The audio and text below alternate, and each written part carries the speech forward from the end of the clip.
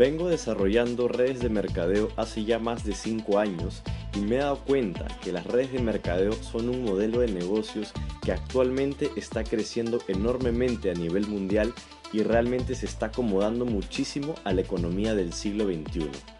El GoPro y los 7 pasos para convertirse en un profesional del mercadeo en red es un libro en el que Eric Worre habla de cuáles son las 7 habilidades que todo networker debe desarrollar para tener grandes resultados en la industria. El mercadeo en red no es perfecto, simplemente es mejor. Estos son algunos de los beneficios de nuestra profesión. Crecimiento personal, ingresos residuales, libertad de tiempo, expansión internacional, bajo riesgo, bajos costos de inicio, resistente a los cambios en la economía, beneficios fiscales, no hay jefes, divertido y muchos más. Normalmente un empleo no ofrece ni la mitad de estos beneficios. Por otro lado, en el mundo de los negocios tradicionales tenemos inversiones y riesgos muy elevados, además de un estrés constante. Definitivamente la mejor manera que conozco, no solo para sobrevivir, sino para sobresalir en la nueva economía, es el mercadeo en red. Todo esto suena muy bien y lo es, pero hay un detalle que nadie menciona y es que debes aceptar una pérdida temporal de tu estima social por parte de las personas ignorantes. De hecho, yo también viví eso. Esto quiere decir que las personas que todavía viven e intentan funcionar en el sistema viejo pensarán mal de ti, no lo entenderán y pensarán que estás loco por involucrarte en el network marketing. La verdad es que el mercadeo en red no es perfecto, solamente es mejor y esa es la realidad. Existen tres categorías de personas en el mercadeo en red. Las he visto todas y he sido todas. Primero, impostores. Ellos tratan a nuestra profesión como un boleto de lotería.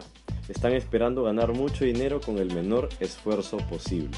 Creen que esto es simplemente como una inversión en la bolsa. Amateurs son las personas que hacen este negocio esperando algo de suerte y firmar a un gran distribuidor que los haga ricos y millonarios. Creen que su éxito depende de si entraron o no en un buen momento o si tienen una buena posición dentro de la organización. Profesionales. Ellos se hacen expertos en las habilidades necesarias para construir una grande y exitosa organización.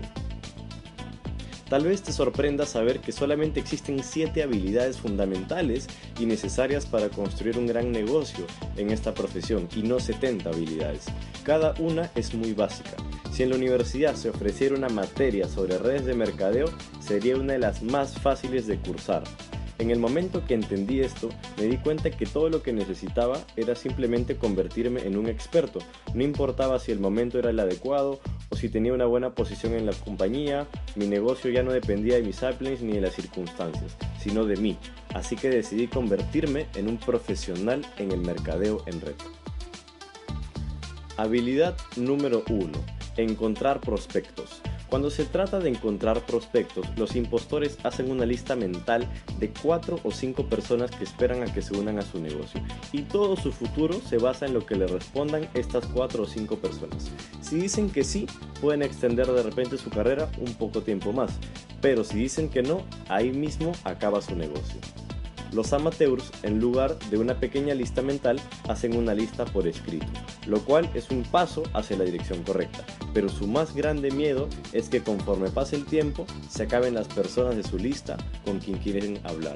Por otro lado, los profesionales, además de hacer una lista por escrito lo más extensa posible, incluso los conocidos de sus conocidos. Además, conocen gente a propósito y expanden su lista constantemente. Agregan al menos dos personas nuevas cada día a su lista de contactos.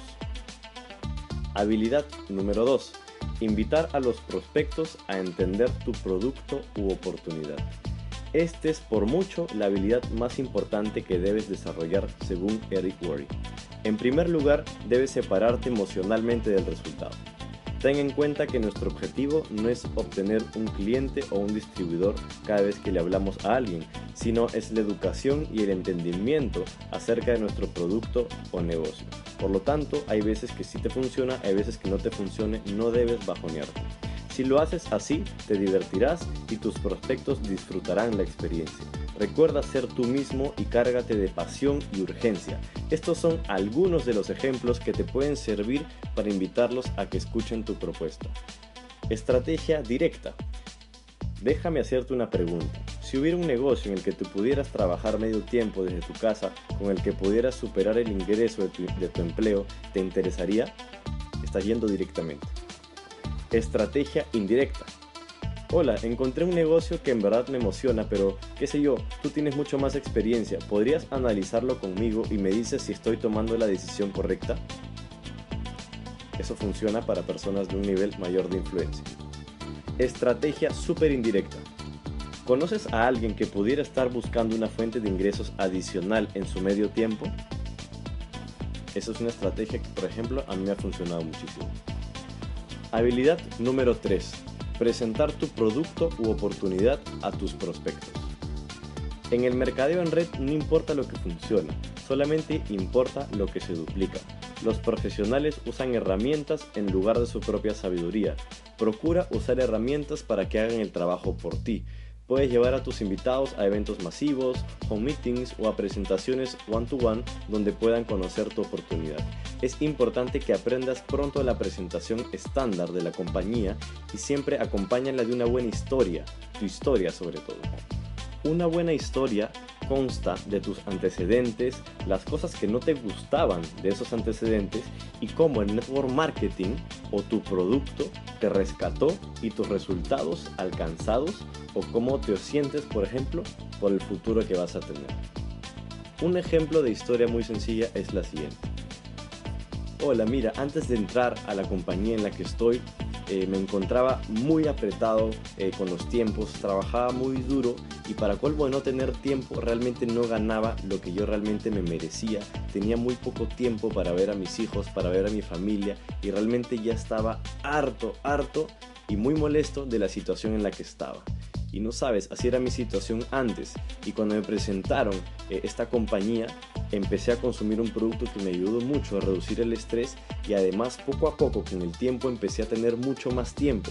Hoy en día viajo con mi familia cada tres meses, hoy en día eh, me voy de viaje a conocer diferentes lugares, eh, vivo en la casa de mis sueños, tengo tiempo para hacer las cosas que más me gustan y sobre todo me estoy dando cuenta que hacia el futuro cada vez voy a crecer más.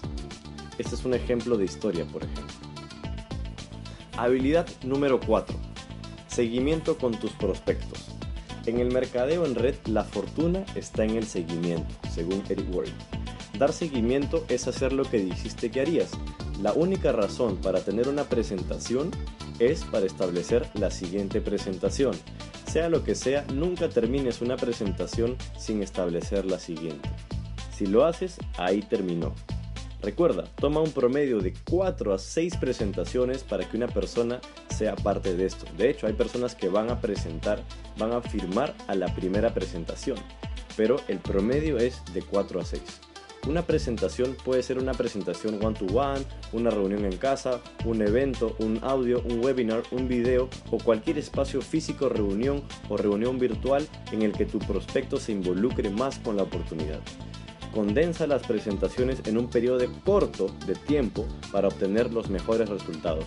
Si haces esto en cualquier orden dentro de una semana, le das a la gente la oportunidad de pensar en verdad sobre cómo esto puede cambiar sus vidas.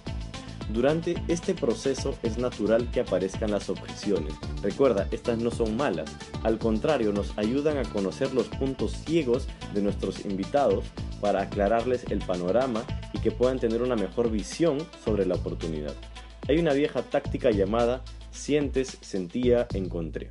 Funciona para crear empatía y dar una solución en lugar de crear una discusión con tu invitado.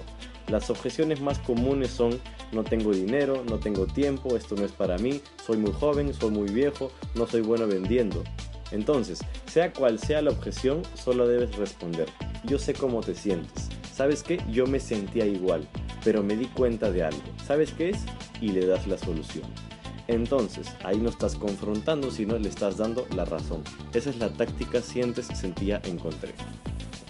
Habilidad número 5 ayuda a tus prospectos a ser clientes o distribuidores. Al acabar tu presentación puedes preguntarle a tu prospecto, ¿qué fue lo que más te gustó de todo lo que acabas de ver? Su, respuesta será positiva porque le estás preguntando qué fue lo que más le gustó, no le estás preguntando qué tal, qué te pareció. Y ahí te dará pistas sobre el área en el que tienen más interés. Otra buena pregunta que puedes hacer después es, en una escala del 1 al 10, siendo 1 cero interés y 10 que estás listo para comenzar, ¿en qué número te ubicarías? Cualquier número mayor a 1 es bueno. Partir de su respuesta es muy obvio para saber si necesitan más información antes de tomar una decisión o si ya están listos. También puedes hacer este cierre de cuatro preguntas si ves que tu prospecto está muy interesado pero aún no se decide. Pregunta 1 en base a lo que acabas de ver, si fueras a comenzar a medio tiempo, ¿cuánto necesitarías ganar al mes para que valiera la pena? Y espera a que te dé una respuesta. Pregunta 2. ¿Cuántas horas a la semana estarías dispuesto a trabajar para tener este nivel de ingreso? Espera que te dé una respuesta. Pregunta 3. ¿Durante cuántos meses puedes trabajar a ese ritmo para llegar a ese nivel de ingreso? Te dará una respuesta. Pregunta número 4 si yo pudiera mostrarte la manera de ganar lo que, me lo que te haya respondido en ese caso, al mes, trabajando lo que te haya respondido, horas a la semana o meses, estarías listo para empezar ahora mismo y ahí lo inscribes. La mayoría de las veces su respuesta será positiva. Si es así, saca un lapicero y muéstrales cómo lograrlo con el plan de compensación de tu compañía, claro, si en verdad es posible. Si sus, expectativas son demasiado altas para el trabajo que están dispuestos a realizar, entonces díselo. Si por alguna razón deciden no unirse a tu oportunidad de negocio, déjales saber cómo se beneficiarían utilizando el producto o servicio para que puedan convertirse en tus clientes o consumidores. Habilidad número 6. Ayudar a que tu nuevo distribuidor pueda comenzar. Siempre empieza por felicitar y validar la decisión de tu nuevo distribuidor y socio por tomar esta oportunidad. Déjale saber que tú estás para apoyarlo en este proceso, pero que él es el responsable por su éxito o por su fracaso. Tú estás ahí para guiarlo, pero no le puedes hacer el trabajo ni le puedes garantizar nada. Dile también que tu trabajo es ayudarlo a que sea independiente de ti lo más pronto posible. Así él mismo será el dueño de su propio negocio asegúrate de que tu nuevo distribuidor cuente con los productos apropiados y que sepa cómo usarlos y compartirlos. Debe tener también las herramientas y saber qué página debe conectarse o a qué números debe llamar para tener la información que pueda necesitar. Enséñale cómo invitar de manera sencilla y efectiva. De esta manera lograrás que puedan obtener sus primeros clientes y socios y sus primeras comisiones. Es muy importante que asista a los eventos que se hacen en su ciudad para que puedan estar siempre conectados, involucrados y aprendiendo. Habilidad número 7. Promover eventos. Personalmente en mi experiencia esta es una de las habilidades que más me ha costado desarrollar, pero es una de las habilidades más importantes. ¿Qué dice Eric Worre? Encontrarte con personas en pequeños grupos o en eventos locales de mayor escala tendrá un gran impacto en el éxito de cualquier organización del mercadeo en red, pero hay un tipo de evento particular es el de mayor poder y son los eventos destino. Un evento destino es aquel en el que la mayoría de los asistentes se trasladan de una ciudad a otra, se hospedan en un hotel y participan de convenciones o conferencias. En verdad es muy sencillo, mientras más personas de tu grupo asistan a estos eventos, más dinero estarás ganando en nuestra profesión. La clave es asistir siempre a estos eventos y cada vez llevar a más personas de tu organización. Si haces eso, estarás dentro de las personas mejor pagadas del salón y tarde o temprano estarás presentándote en la tarima y en el escenario. La mayoría de las personas siempre anuncia estos eventos y esperan a que su gente vaya. Los profesionales entendemos que hay una gran diferencia entre ser un anunciador y ser un promotor. Ser un promotor significa hacer el evento una prioridad para tu grupo. Algo que dice Eric Worry es que tú ganarás mil dólares al año por cada persona de, tu organización que asiste comprometido a los eventos. Hay una fórmula que he visto que funciona y que se cumple en nuestra profesión. Como regla general te tomará un año ser competente y tener rendimientos en network marketing. Conocerás los, los conceptos básicos, podrás cubrir tus gastos y estarás aprendiendo. Te tomará cerca de 3 años de esfuerzo a medio tiempo para poder dedicarte a tiempo completo. Y te tomará 5 años para tener ingresos sostenidos de 6 cifras o más y te tomará cerca de 7 años para convertirte en un real experto. Simplemente realiza un plan. Haz lo que planeaste y revisa tus resultados para ver cómo lo puedes hacer mejor la próxima vez. Y repite el proceso una y otra vez. Si construyes un grande y exitoso negocio network marketing, sucederán unas cuantas cosas. Primero, ganarás algunos viajes que serán los mejores viajes de tu vida. Segundo, necesitarás apoyar a tu organización mientras expanden a otras ciudades o países. Y tercero, tendrás tiempo suficiente y dinero suficiente para viajar a donde quieras y cuando quieras y con quien quieras. Podrás contribuir a muchas causas y te convertirás en la mejor versión de ti mismo. En mi experiencia, el network marketing me ha brindado muchísimos beneficios y si yo miro atrás, no pude haber tomado una mejor decisión y no pude haber encontrado una mejor industria para hacer crecer los negocios. Eso fue el resumen del libro GoPro por Eric Worre.